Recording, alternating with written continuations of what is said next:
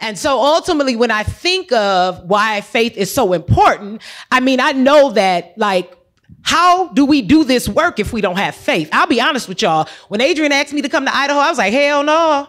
I don't blame I was like, no.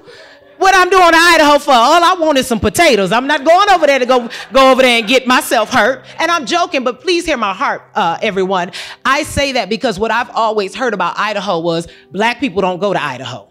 You don't go over there because that's where they they they'll get you over there. And so when I say that, my thing is okay, that's the stereotype of what people have said. Ever since I've been here, the love that I've received and all of the kindness that I have received, not only that, but when I met Adrienne, the, the, the, the reaction that we had to each other and the, the relationship that we have built in just a short time, to me, that is faith. Because here we are both seeing each other and we know what stereotypes are, but we're saying, no, I'm not going to believe that.